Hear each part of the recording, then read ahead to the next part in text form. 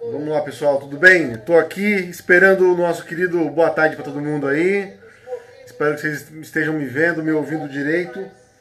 É, eu estou aqui é, chegando, esperando o querido Gabriel Eduardo colar com a gente, tá bom? Enquanto isso, a gente fica ouvindo o Gonzaguinha aqui, pequena história de um tempo sem memória. Souber algo acerca do seu paradeiro, beco das liberdades estreita e esquecida. Espero que vocês estejam todos bem, apesar de tudo.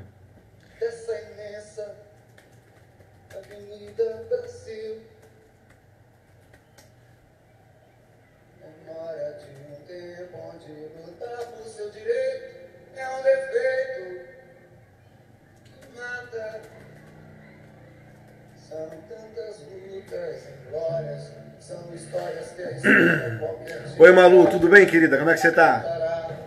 Fala, Claudinho. Fala, só, fala, Sofia. As passagens, as coragens são sementes espalhadas nesse chão. De Juvenais e de Raimundos, tantos Júlios de Santana, dessa crença num enorme coração.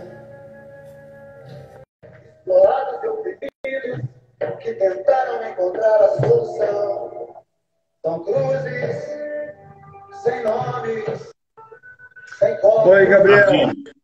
sem data. Boa tarde, boa tarde. Tudo bem? Beleza, PC? Tudo bem, meu companheiro? Boa tarde Tudo todos bem. os companheiros que nos acompanham no Instagram, tanto no meu quanto no do Reconexão Periferias. Boa tarde, boa tarde a todo mundo novamente. As pessoas estão chegando aí, Gabriel. Em primeiro lugar, agradecer aí você a topar essa, esse debate. Eu sei que a gente está sempre, sempre junto. Tinha certeza que você ia topar chegar com a gente, mas é, não posso deixar de agradecer ao seu tempo. Eu que agradeço pela participação, é sempre um prazer contribuir aí com o trabalho de vocês, contribuir com o trabalho do Reconexão Periferias.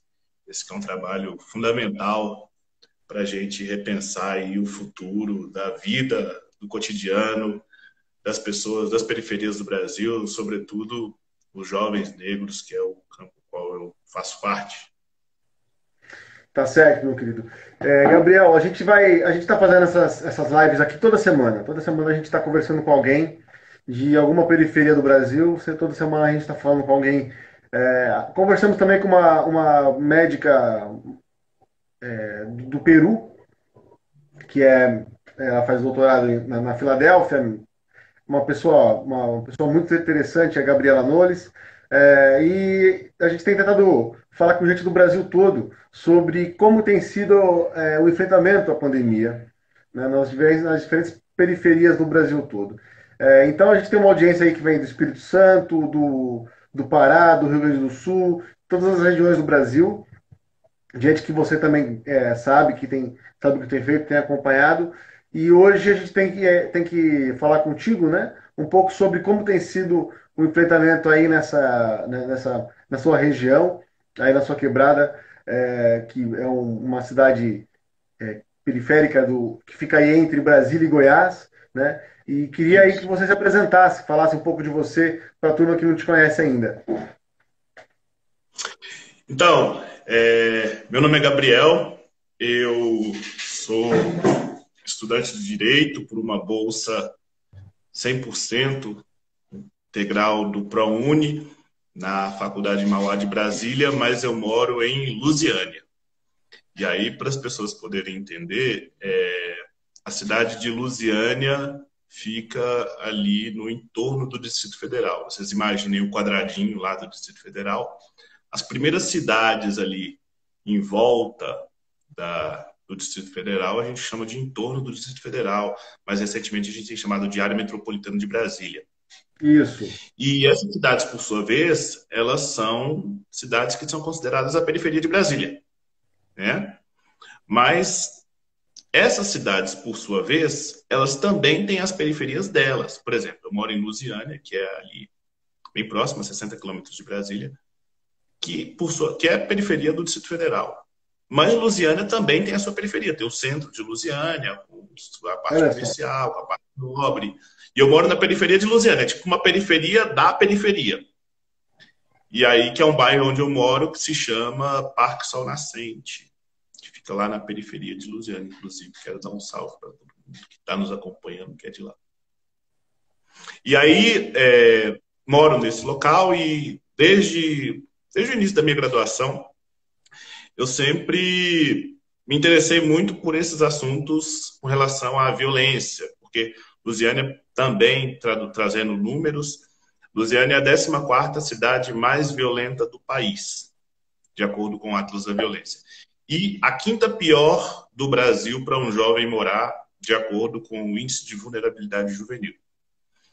E aí eu via toda aquela cena e aquilo sempre me chamou muita atenção. E na faculdade tem um núcleo de estudos de violência e criminalidade, que foi uma coisa que me, muito me chamou atenção por eu sempre ver Lusiânia ali dentro daqueles índices. E aí eu comecei a participar desse núcleo de estudos, que foi mais ou menos o que abriu a, a minha cabeça com relação aos dados de violência, mais ou menos lá em 2014, 2013 para 2014, que foi quando eu eu abriu a minha cabeça com relação aos dados que envolvem Lusiânia com relação à violência. Eu passei a querer estudar um pouco mais sobre segurança pública, sobre violência, sobre redução de homicídios, tudo para querer contribuir com a vida da cidade. Isso fez com que em 2018 a gente ocupasse um posto da Polícia Militar, né, um posto da Polícia Militar que tem no bairro. A Polícia Militar abandonou aquele espaço e um, um dado importante, PC, que a gente sempre usa, é que no diagnóstico de homicídios no Brasil, ele é categórico em apontar que Lusiânia é uma das 81 cidades mais violentas do Brasil, que ele, é, ele pega só as 81 cidades, e Lusiânia é uma das 81 cidades, e é uma das que não tem nenhum ponto de cultura. Para a gente, isso tem um diálogo muito forte os dois fatos. A cidade ser violenta não tem nenhum ponto de cultura. Então, na época, nós decidimos ocupar um posto da Polícia Militar com o Fundo de Arte e Cultura de Goiás, que foi uhum. pago ainda pelo governo anterior. Entra o novo, eles não pagam até o final, entra o novo governo, que também não paga, a gente fica ali com o espaço parado, mas é importante que esse ato de ocupar, e principalmente por ser um posto da Polícia Militar que estava desativado, chamou a atenção da Organização das Nações Unidas, que fez com que eu pudesse ir para Nova York em 2018, fevereiro de 2018, para a Assembleia de Juventude da ONU, onde, onde tinham mais de mil jovens de vários outros países, para cada um ali debater os problemas dos seus países e trazer soluções que já tinham apresentado nos seus territórios. Então, foi mais ou menos isso que eu fui fazer lá. E aí era essa nossa ideia, né, de ocupar espaço público, de ocupar a cidade com cultura, e principalmente os locais mais periféricos, e os melhores projetos iam para uma assembleia, um fórum de direitos humanos e negócios na Suíça, no mês de outubro, em Genebra, na Suíça, que era um fórum com ativistas de direitos humanos e as empresas, as mais diversas empresas do mundo lá, isso já em fevereiro. Em fevereiro foi a Assembleia de Juventude, em novembro foi esse fórum de direitos humanos e negócios. Tinha lá Uber, Facebook, Google, várias empresas assim de renome mundial, junto com ativistas de direitos humanos, para a gente entrar ali no denominador comum que tratasse de negócios e direitos humanos. Foi uma agenda muito divergente, foi um encontro muito assim muito pesado, carregado, mas são as experiências assim que que fizeram com que minha minha mente ampliasse mais ainda com relação aos problemas que a gente tem na periferia e principalmente agravado é, a partir do do governo do Michel Temer, a coisa fica pior no governo Bolsonaro e muito pior agora com a pandemia, né? Tá certo. Então, pois é, você, você sempre tem, você sempre vem com, com, com muita, muita informação para gente, né? Bastante, bastante dado, bastante profundo. Mas é, como é que é, como é que tem sido?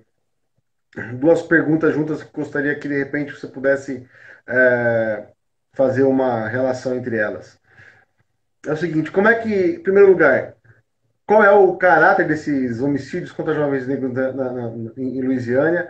Mas, assim, eu quero saber se é por porte de arma, se é arma branca, se é conflito, se é em porta de bar, se é conflito interpessoal, se é resultado do tra de, de atividades ilegais.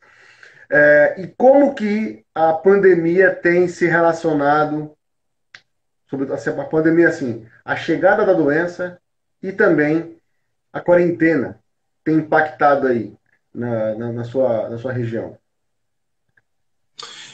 Então, PC, são essa, essa questão dos homicídios, assim, a gente não tem um dado é, preciso, né? Eu estou pesquisando para ver como é que eu vou conseguir fazer isso de forma precisa. Eu tive acesso já aos inquéritos e eu posso falar uhum. aqui de uma forma muito mas com certeza tem, tem, um grande, tem um grande embasamento. É, os homicídios, em via de regra, eles são cometidos por arma de fogo, né? uma grande maioria, eu posso dizer sem medo de errar aqui, mais de 90% dos homicídios são cometidos por arma de fogo. E uma particularidade que nós temos nesse território, e aí eu digo que não é nem só em Lusiana, eu acho que em toda a região da área metropolitana de Brasília, é que nós temos sim a violência policial como o grande vetor do, do extermínio de jovens negros, e aí por conta de todos os, todos os impasses que nós temos, seja pela política de drogas atrasada que nós temos no Brasil, seja é, aqueles estão na moda de falar que a polícia revidou a injusta agressão. Sempre a polícia revida a injusta agressão e não existe. E assim, eles vêm fazendo isso é, reiteradamente e reiteradamente usando a mesma justificativa, né? sem nada que possa contrapor a ideia. Mas nós temos de uma forma, e aí isso é a maioria, que é o, o conflito interpessoal de jovens, sobretudo jovens de periferias diferentes, de quebradas diferentes. E eu falo muito isso, que como que as coisas sempre estão ligadas. Porque, por exemplo, eu, um amigo meu foi assassinado há uns dois anos, e na briga, quando, quando começou a briga, eu estava no momento da briga. E aí eles, ele se desentendeu com outro rapaz, e o rapaz falou com ele, vó, espera que o que vai, você vai receber o que é seu. E no outro final de semana, ele foi assassinado por aqueles meninos que eles arrumaram uma confusão.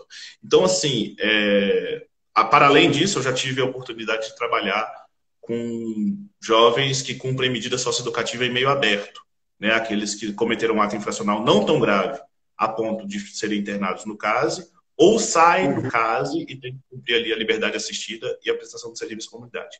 Eu tive a grata missão de ser orientador social deles durante o período de 2015 a 2016.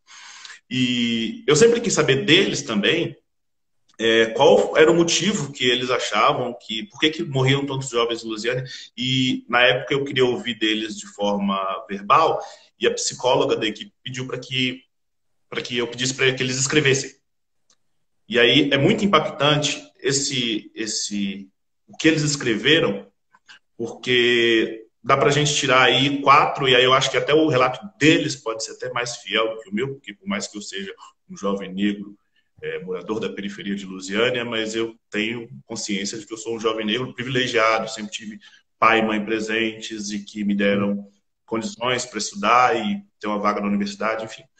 Mas eles são jovens que estão no olho do furacão mesmo. E aí, se você, você pega o relato deles, são quatro motivos. Eu perguntei para eles qual era o motivo de Lusiana ser uma das cidades mais violentas do país. E se você pega assim o resumo de 90 atividades que eles fizeram, é, são quatro motivos. As guerras, e as guerras são o quê? É, conflito por tudo, inclusive por nada. Ah, se mora numa quebrada diferente, é guerra. Então, tem guerra com outro, é um motivo de homicídio.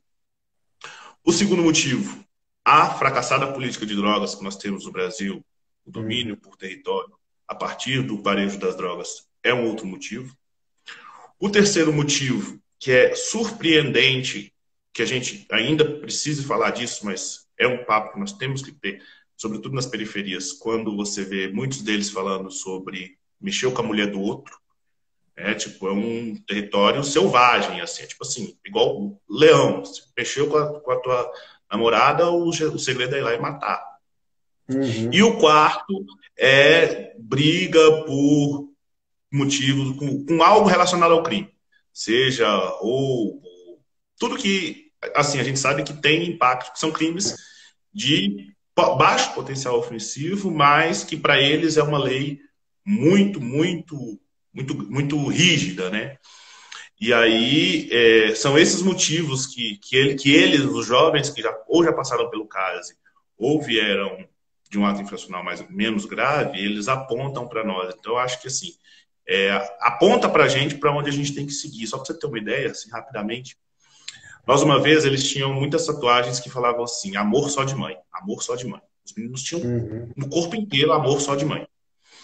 E a psicóloga e a advogada, elas olhavam aquilo e falavam assim: não, a gente precisa fortalecer os vínculos com esses meninos para que eles entendam que amor não é só de mãe, existe amor de amigo, existe amor de irmão. Até para eles reconhecerem outras formas de amor para que eles não estejam tão vulneráveis. Uhum. E aí, Lusiânia tinha um centro de convenções que tinha cinema gratuito. Né? Cinema gratuito não, mas o preço era muito baixo. E na época nós atendíamos 127 meninos.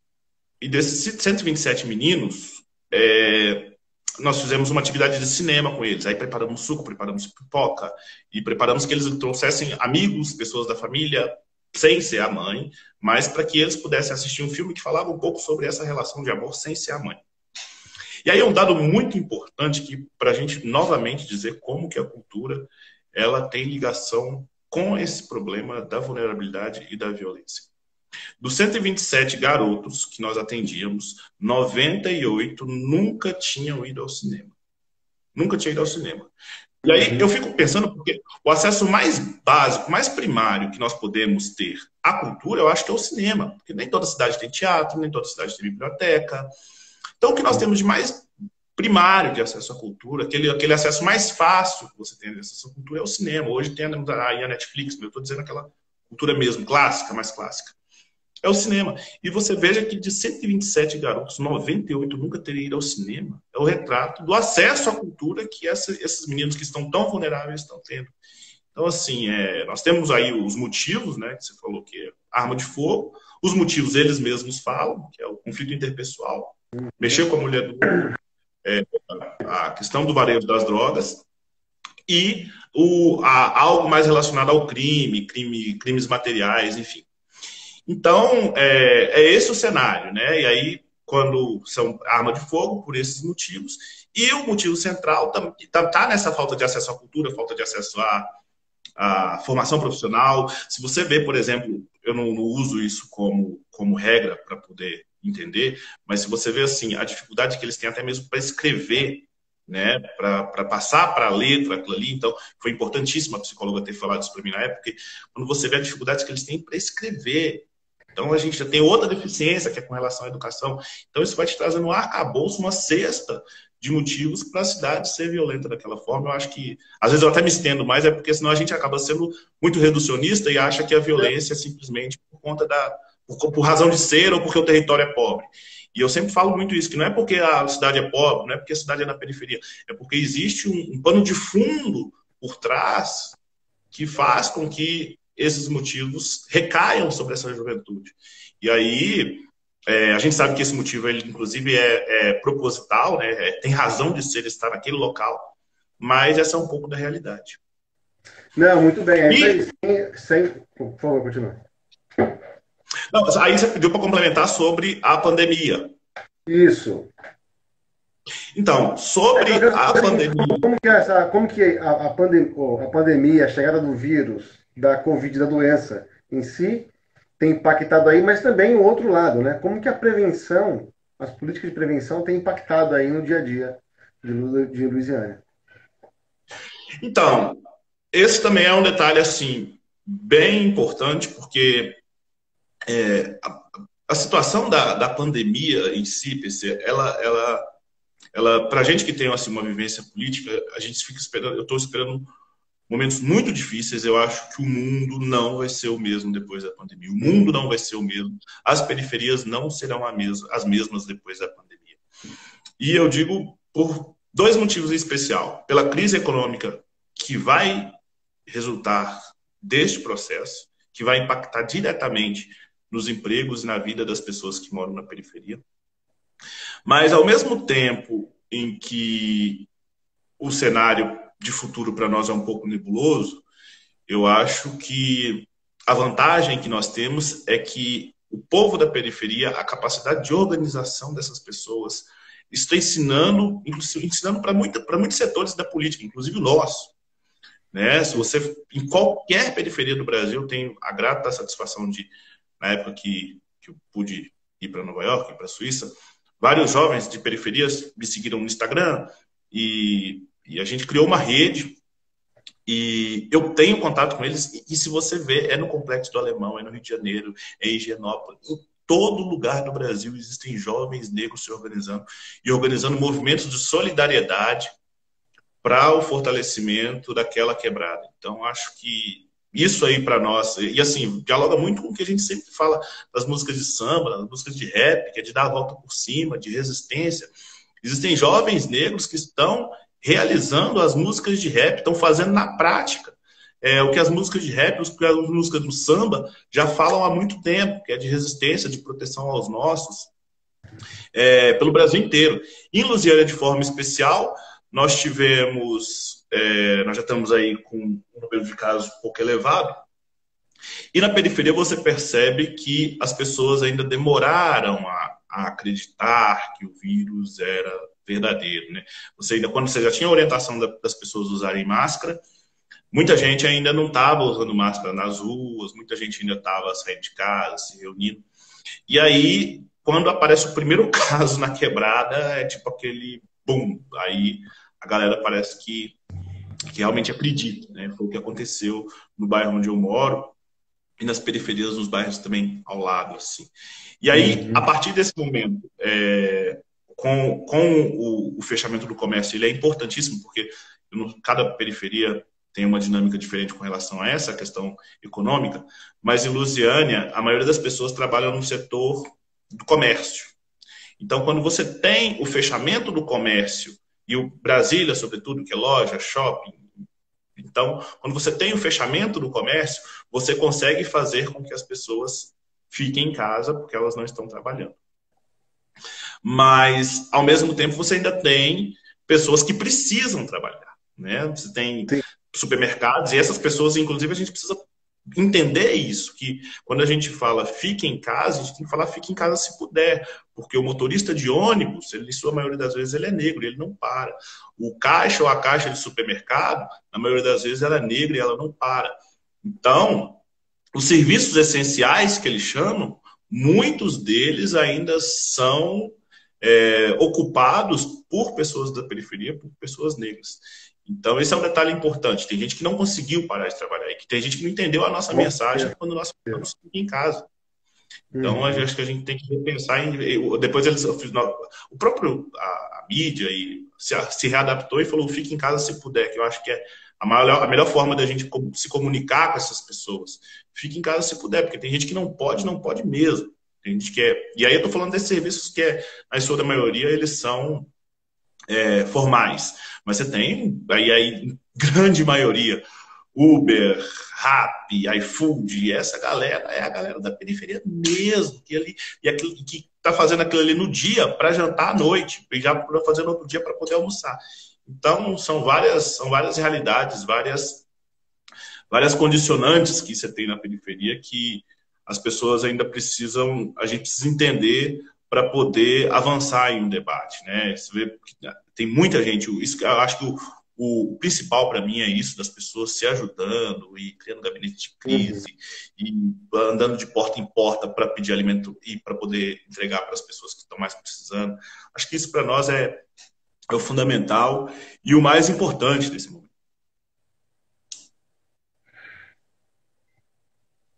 Você está me ouvindo? Estou sim, papai. Tá, tá. Então, é, eu estava dizendo que o que você trouxe aí com relação aos dados é, é, dialoga muito com o que as pesquisas do projeto Reconexão Periferias têm feito, né? É um pouco porque a gente está produzindo um mapeamento dos homicídios no Brasil e você vai conseguir. A gente tem esse levantamento de qual é a causa homicídio por homicídio, né?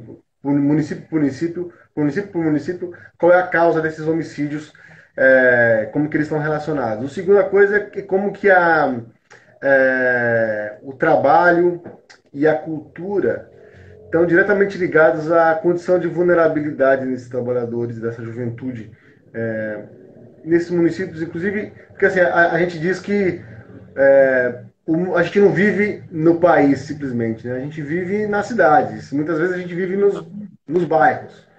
Né? A vida real se dá nos bairros onde, onde a gente vive. Em segundo lugar, em, em, em terceiro lugar, tem uma outra coisa que é o seguinte: é, a pandemia ela veio, ela veio dar, dar vazão para uma série de problemas que não, não chegaram agora. Na verdade, ela está só descortinando para um cenário que já era extremamente problemático. Né?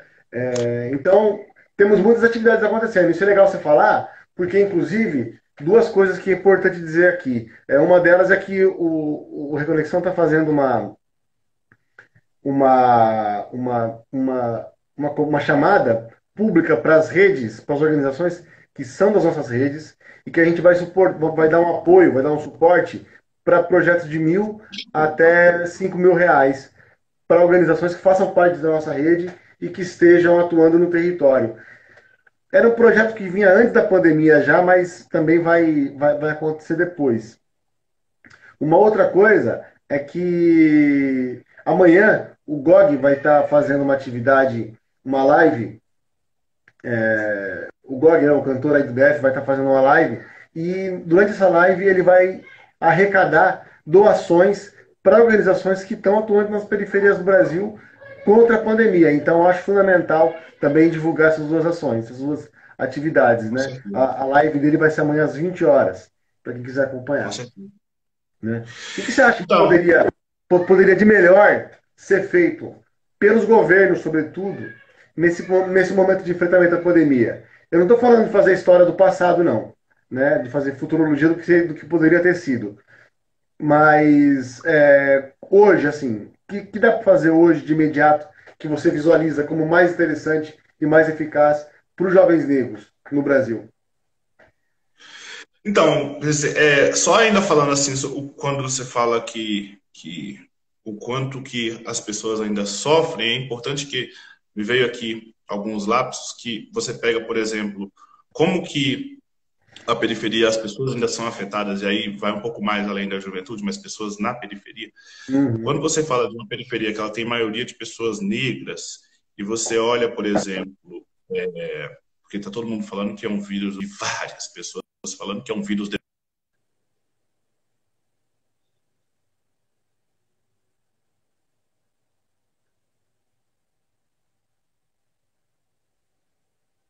cortada.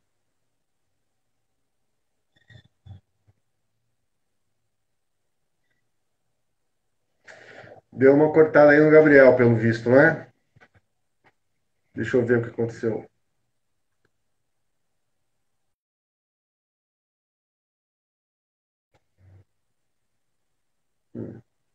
Opa, o Gabriel saiu, mas daqui a pouco ele vai, com certeza ele vai voltar aqui. Espera, só espera um pouquinho ele chegar que ele daqui a pouco ele vai vai voltar.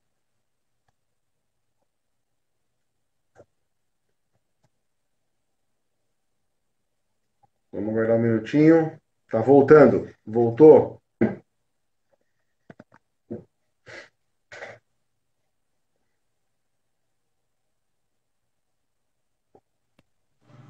Gabriel. Opa, voltou. Porque Você um dos falando... problemas que nós temos também é a internet. É isso, Porque... né? Durante. É, isso é... Mesmo. Um dos problemas é a internet, que com o volume de pessoas ficou muito grande. É, é. Mas, para além disso, o que eu estava querendo comentar com relação à, à vida das pessoas é uma, de, uma com relação a doenças. Uhum. Quando você olha doenças, por exemplo, é, pressão alta, é, a tuberculose, e todas essas doenças que são consideradas comorbidades para o coronavírus são doenças que têm impacto, sobretudo em pessoas negras e pessoas das periferias. Ou hum. a, a, doença com relação à saúde, coração, é por, por má alimentação. doenças como tuberculose é por conta de ambientes extremamente insalubres, casas com ventilação deficitária. Então, nós estamos falando de um, um vírus que ele vem, ele não é democrático, igual pessoas, algumas pessoas yeah. entendem. Ele é, ele pega em uma certa camada que tem cor e CEP de uma forma muito mais grave. Então, e além disso, da questão dessas doenças, está a questão, por exemplo, de serviços básicos. Igual quando nós temos, igual pessoas em periferias, nós não temos iFood, não chega Get Ninjas, não chega Uber Eats. Então as pessoas têm que sair mesmo para comprar comida. Tem gente no centro de Brasília que não precisa sair de casa para nada. Para nada. Só desce para pegar comida. Não, em periferia você tem que sair. Tem que sair para é. comprar. Você não, consegue ficar preso dentro de casa. E muitas vezes o transporte é péssimo. E aí você pega um ônibus lotado para poder resolver aquele certo é. tipo de problema. É uma, uma outra vivência. Você, domingo, por exemplo, no bairro onde eu moro, estava faltando água. Sabe? Só falta no momento em que é moda na televisão falar lave as mãos, lave as mãos, mas lave a mão como? Se no bairro está faltando água. Exatamente. Então, assim, existem um monte de condicionantes. E aí, assim, eu queria muito, mas de forma muito especial, parabenizar todos vocês. Vocês sabem do carinho que, que a gente aqui em Lusiana tem pelo projeto, por todos vocês da Fundação Perseu Abramo, a galera aqui de Lusiana, e assim, a prova que o projeto de vocês está na base é porque não só eu, que, volto a dizer, tenho, tenho a ciência de que sou um jovem privilegiado, mas a gente pode levar jovem da quebrada mesmo lá para o Reconexão Periferias que nós fizemos uhum. em Goiás. E aí já é o projeto já é um grande acerto em si, já é um grande, uma grande sequência de acertos. E aí quando vocês vêm com essa chamada para ajudar com grana financiar com grana as ações de jovens ou de pessoas em periferias, é assim, é fechar com chave de ouro, é ter, colocar um laço mesmo em cima do projeto, porque PC eu tenho falado isso para as pessoas de forma insistentemente. A gente não pode ficar nessa ideia de arrecadar alimento para as pessoas. Só alimento, só alimento. Mas isso é de uma visão tão escravocrata de achar que as pessoas só precisam de comer, falo, não, as pessoas não só precisam de comer. Arrecadar alimentos é importante? Sim, porque nós devemos fazer uma ação para socorrer as pessoas para que elas não morram de fome. Mas nós precisamos ensinar os nossos companheiros lá na quebrada a baixar o aplicativo do auxílio emergencial, a fazer o cadastro, a saber por que está dando errado, a liberar a internet das nossas casas para que essas pessoas possam fazer esse tipo de movimento. Isso é importantíssimo, isso dá independência para as pessoas. E o que dá independência é só ter o dinheiro para fazer as coisas. Teve gente, para você ter uma ideia, teve gente que falou assim, que a primeira coisa que, que ficou, teve o contrato de trabalho suspenso, e que falou que a primeira coisa que ia fazer quando saísse o auxílio emergencial era pagar a Netflix. Sabe? E a gente não tem nenhum direito de contestar a vontade daquelas pessoas em não comprar um pacote de arroz e pagar a Netflix. Sabe? Então nós temos que avançar um pouco. E aí a fundação ela vem de forma direta fazendo isso que eu estou falando, que é dar independência para que as pessoas possam financiar os seus projetos da forma que elas querem fazer. Nós não podemos chegar de fora fazendo igual esses caras ficam fazendo aí, é, querendo ensinar, sabe? É a colonização do século XXI é querendo vir apontar para a gente, fazer do jeito do que nós queremos a nossa quebrada. Não tem que ser assim. A gente tem que chegar lá e ouvir, dar independência para as pessoas para que elas façam o que elas quiserem. E aí é um ponto extremamente positivo da fundação é esse financiamento para projetos. E eu acho que o que nós podemos fazer daqui para frente, acho que esse auxílio emergencial aí tem que ser até o final do ano, no mínimo, porque senão não vamos ter uma situação de caos absoluto, caos mesmo, cara. Caos de, de, das pessoas estarem saqueando, saqueando o mercado e toda aquela cena que a gente sabe como é que é. Uhum. E aí, é, para a, a, a, além disso, é a gente começar a falar. Eu acho que aí, quando eu falo que o mundo não vai ser o mesmo, vai ser porque esses caras que sempre condenaram o fato da gente querer levar política pública para a periferia, eles vão entender que esse tipo de política pública agora ela é extremamente necessária. Porque se daqui 100 anos vier outra pandemia, nós vamos passar pelos mesmos problemas de novo. E aí, é... esses caras vão acordar vendo. Entendeu? E se eles não acordarem agora, eles desistam, porque se você vê, os maiores centros capitalistas estão trabalhando nesse sentido.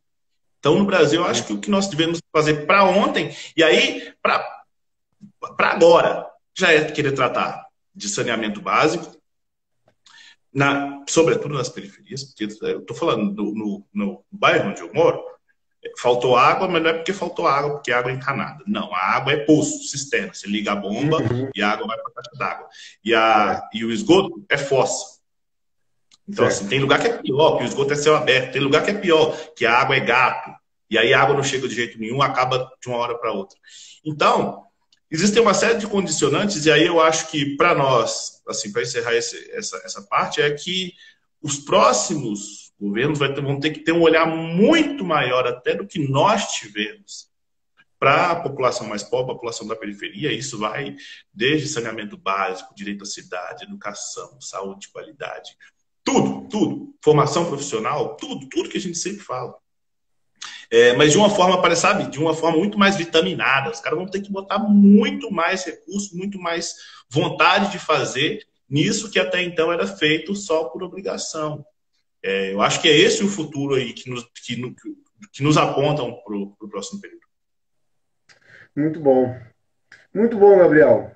Muito bom. Olha só, eu, a gente passou por todos os pontos que nós tínhamos, que nós tínhamos pensar combinado aqui. E nós temos um tempinho ainda. É, mas antes eu queria agradecer a todo mundo que passou aqui pela live. E a gente é, a gente está aqui, né, sempre com uma, uma audiência muito legal, de gente do Brasil todo, sempre participando. Eu gostaria até de poder interagir mais, mas assim, eu ainda sou um, um neófito, sou um, um iniciante nas artes aí de, de fazer live. A equipe da, do Reconexão insistiu bastante para que a gente fizesse essas, essas lives, eu estou aprendendo. Hoje eu até coloquei musiquinha aqui, não sei se você reparou, né? Antes eu sei, eu vi. Eu tinha estava colocando o Gonzaguinha aqui, uma música que fala um pouco, era para ser só um, uma música sobre o tempo passado, mas na verdade está falando muito sobre o tempo presente, né? O tempo em que lutar por seu direito é um defeito que mata. Então, tá. É... mas eu estou aprendendo, eu estou aprendendo, eu vou interagir melhor nas próximas lives. Na semana que vem, provavelmente a gente vai falar com o pessoal dos, dos veganos periféricos. O pessoal que discute veganismo nas periferias, que é uma coisa bastante inovadora, né? A gente sabe disso. É, antes, mas antes de falar, antes de falar tchau para todo mundo, eu gostaria que você desse aí o seu último, o seu último salve. Então, quero mais uma vez agradecer a, o convite, agradecer a, a você e toda a equipe aí da Fundação, a Sofia, a Vitória, a Juliana, pessoas que a gente, nós tivemos juntos. É, e quem diria, né, que não, não, é, não, tem nem tanto tempo que nós estivemos juntos assim. É. E, e, hoje nós estaríamos é, já. Raquel aí do, do, de Manaus. Sim, sim. Eu vi muita gente aqui conhecida que, que esteve conosco lá. Eu vi muita, muita gente mesmo. É, mas, enfim, é dizer que Primeiro, gente, é, é, ter muita. Ter muito, eu acho que a gente não pode perder. É um debate que a gente precisa fazer também aí, como dica aí, se puderem trazer alguém que fale sobre essa questão da saúde mental, de como se manter bem com relação a, a tudo isso que está acontecendo, cara, porque ficar em casa, eu vou falar, ficar em casa não é fácil. Ficar em casa não é fácil, ficar. E assim, sobretudo para a juventude, sabe? Jovens assim, que não é o meu caso, mas jovens que gostam de rolê à noite e tal. Um tempão ficar dentro de casa é difícil, sabe? Tá muito é. complicado. Então, é, eu acho que a gente tem que né? É ter muita, ter muita fé, ter muita fé e, e, esperar que, que as coisas fiquem, que as coisas melhorem, mas eu acho que a gente, o mínimo cada um pode fazer, sabe? E tá muito difícil porque esse, esse último período, as pessoas se afastaram demais. Né? A galera ficou muito mais ríspida e hoje você vê uma galera assim que é, não tem nem abertura para poder pedir, às vezes, o que está ali precisando, sabe? Eu tenho, passei muito por isso.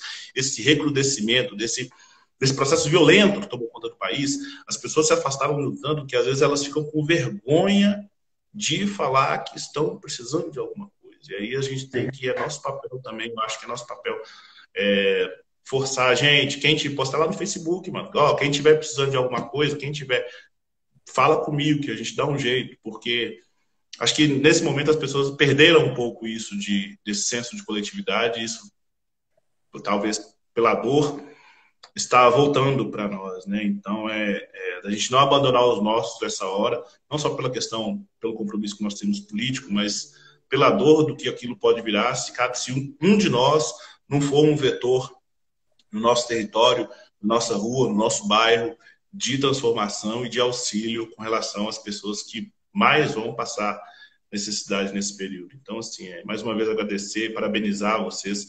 O Reconexão Periferias é realmente um projeto que é, é espetacular até hoje, por tudo que fez. É, são, são jovens que você escuta relatos que eu acho que eu falando já tem um significado, mas eu acho que um jovem negro da periferia que morou, que é lá da, da raiz de Luziano, ter participado de um evento igual Reconexão Periferias em Goiás, e falar dele até hoje, e contar dele em rodinha, e contar o que aprendeu, é muito significativo e é a, a prova que o projeto chegou na base, que chegou onde deveria chegar. Parabenizar também pelo, pelo auxílio, é, é, por esse por fundo de financiamento que vocês estão fazendo para projetos, que é espetacular, não tem palavras, que é a melhor solução, é melhor do que dar mentoria de como fazer, é melhor, dar mentor, melhor do que explicar e chegar aqui e dar três modelinhos de projetos prontos, é você dar independência para as pessoas, sobretudo para as pessoas em periferias, que é comprovando, é, comprovando em ação o que nós defendemos na teoria. Então, assim, estou muito feliz, quero agradecer o convite por ter participado, estou sempre à disposição para a gente esperar esse período passar, para a gente se encontrar, com alguns projetos em aquele projeto de, de, de ir para as periferias, falar sobre segurança pública para garotada. É, ganhou muita força no último período. É, eu fui fazendo algumas conversas e ganhou muita força da gente explicar para a juventude negra, juventude na periferia, o que é segurança pública. Tem muito moleque pobre, tem muito moleque preto que acha que a solução para a segurança pública na quebrada é botar mais polícia, que polícia está certo em matar aquele jovem que está envolvido no manejo das drogas. Então, nós precisamos levar política de segurança pública verdadeira para esse público também, para que eles não reproduzam certos tipos de discurso. E no mais é isso, me colocar mais uma vez sempre à disposição, nós aqui, a nossa presidenta do PT em Goiás, que foi nossa candidata a governadora, professora Cátia, o deputado federal Rubens Ottoni, todo mundo à disposição de vocês aqui, sempre que precisar. Legal, Gabriel. Muito obrigado, meu querido e olha aí, dá um abraço a todo mundo que chegou. Eu vi que também participou da nossa live aqui o presidente do PT de Salvador, o Ademário. Ele sempre um parceiro nosso aí na, nas nossas atividades. Então, gente, brigadão todo mundo que, que colou. Tatiane, Tatiana é, é Pereira, a Letícia, enfim. Grande abraço para todo mundo e até semana que vem. Fique atento nas nossas redes, a gente está divulgando a revista do Reconexão Periferias que, do mês de abril né? Entra no site lá, fpa.org.br, desculpa, fpabramo.org.br, é, baixe a nossa revista que do mês de abril tá, ainda está é, tá disponível. Baixe também, esse mês ainda vai chegar a revista do mês de maio, tá certo? Um abraço aí para Cris Rossim também. É, então, até a próxima, Gabriel. Um abraço para toda a Lusiânia. Tamo junto, PC. Um abraço, meu querido. Valeu. Tchau, tchau. Tchau, tchau.